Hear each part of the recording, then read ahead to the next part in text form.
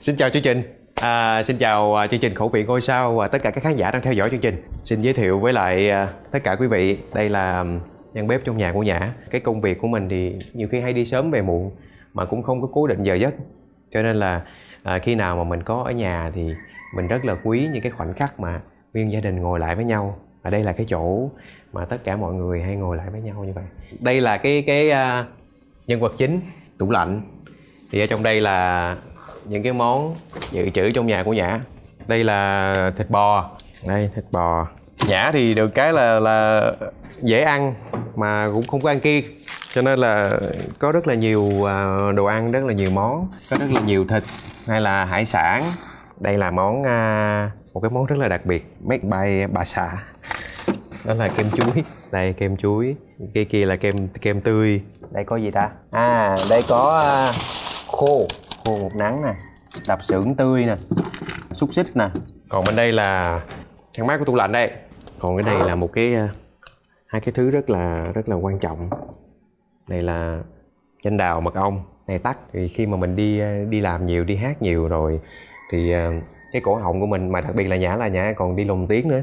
Cho nên là cái cái cái cổ họng nó rất là dễ bị viêm thì uh, những đây là những cái món mà giúp cho mình cải thiện cái cổ họng. Nó sẽ giảm giảm bớt đi cái cái đau rất là nhiều. Bánh chưng còn đây là sữa chua. Bà xã nó làm sữa chua. Thì con gái con trai nó rất, rất thích ăn sữa chua. Đây là bò viên. Này nhiều khi mình à, về buổi tối ăn mì gói nè mình có thể mình à, lấy bò viên bỏ vô mì gói ăn luôn. Đây rất là tiện. Đây bò viên. Trái cây xoài táo ổi. Này là những cái thứ mà để cung cấp vitamin cho cả nhà. Đây có bưởi nữa. Đây là à, súp lơ xanh nè nấm nè măng tây nè cà rốt bí đỏ. Mấy cái món này thì uh, nhà biết tên thôi chứ nhau không biết nấu. Chứ nhau không biết nấu.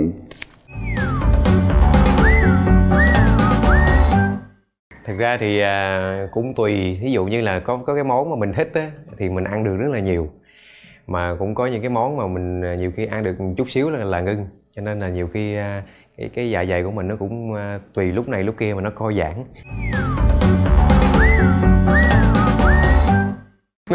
Giờ này giống như là là mình thuộc dạng ăn tạp thuộc dạng ăn tạp thuộc dạng ăn tạp.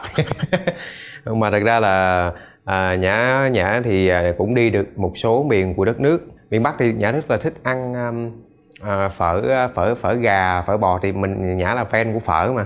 Nhưng mà mỗi nhã thấy là khẩu vị của mỗi miền mỗi khác khi ở miền bắc thì cái phở ờ, phở gà nước rất là trong. À, ngọt rất là thanh và khác hẳn với ở trong ở trong nam. Ở trong nam này sẽ ngọt theo một cái kiểu khác. Miền trung thì có cái món mà mà nhã cũng rất là thích đó là món à, bún bò và món à, à, mì quảng. Thì hai cái món đó là lúc nào đi diễn ở đâu thì nhã cũng phải phải ăn một miếng mà bản thân mình thì mình à, nói ăn tham thì thì hơi kỳ nhưng mà thật ra là mình mình mê ăn. Cho nên là mấy cái món mấy cái món mà mà nhã vừa kể cho là những cái món ruột cho nên nhã thích lắm.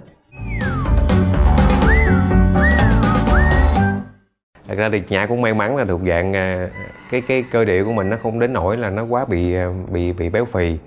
À, với lại mình cũng có chăm tập thể thao. Thì khi mà mình ăn nhiều thì mình phải ráng mình tập thể thao chút, nhiều nhiều hơn chút. Thì cái năng lượng của mình nạp vô với cái năng lượng của mình đào thải ra, nó nó trung hòa thì mình bớt bớt đi. Mình thì đạo phở, mà cái nguyên liệu chính của phở là thịt bò, mà đôi khi lại bị dị ứng thịt bò. Nó rất là khó mà biết sao giờ, tại vì mình thèm là nhiều khi mình cũng phải ăn thôi.